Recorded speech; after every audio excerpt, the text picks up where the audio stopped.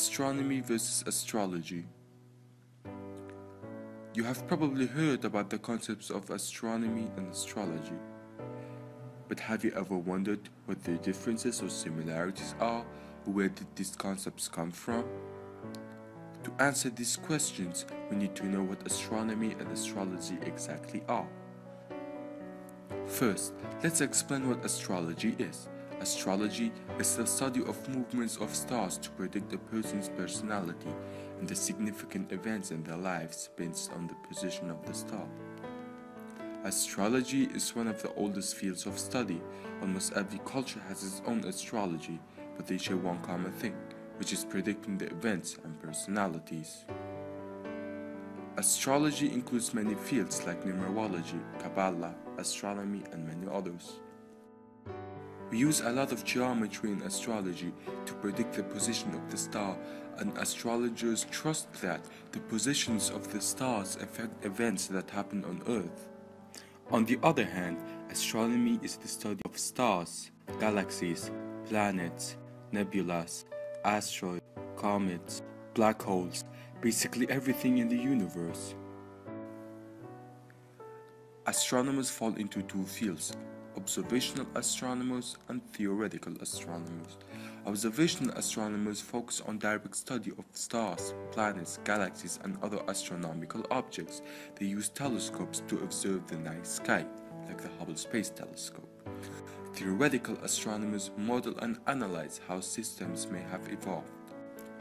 Astronomy includes many other fields of science, like astrophysics, nuclear physics, cosmology, chemistry, and many others. In addition, astronomy uses a lot of complex math to describe the universe. For example, the description of the Big Bang theory is in the mathematical language of physics. We know that the Big Bang happened because it is supported by many experiments like astronomical observations and particle colliders. This leads us to another major difference between astronomy and astrology, which is Astronomy is based on scientific evidence and observations to describe the astronomical objects like the formation of galaxies.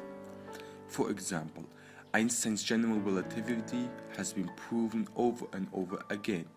It has been proven by a vast number of experiments and observations like clocks on GPS satellites, the discovery of gravitational waves, and many many others.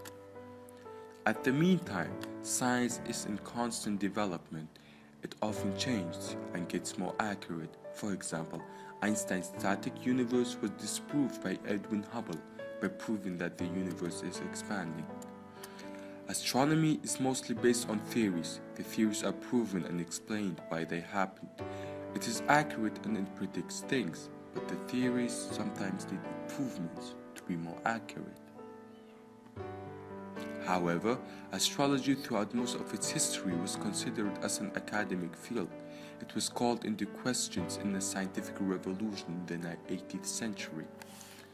Astrology has been shown to have no scientific validity theoretically and experimentally, thus it lost its academic.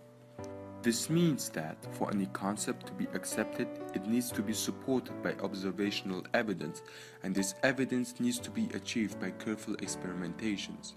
Astrologers don't usually try to seriously decide whether those explanations are valid or not. UnderstandingScience.com explains astrologers do not carefully examine the astrological ideas they accept, as reflected by the minimal level of research in the field. They rarely try to test their arguments in fair ways in addition, astrological community largely ignores evidence that contradicts its ideas. Astrology turns out to be not true all the time. For example, some forms of astrology predict that a person born just after the spring equinox is particularly likely to become an entrepreneur, which haven't happened in most cases. Therefore, many people no longer believe in astrology, and many of them see astrology as a myth. On the other hand, astronomy and astrology both originated from the ancient world. In the ancient world, most cultures did not make a clear contrast between the astronomers and astrologers. They put these two roles as one. The ancient Babylonia, which are famed for its astrology, not have separated roles for the astronomers as predictor of the heavenly bodies and the astrologers as translator of the heavenly bodies. Both roles were performed by the same person.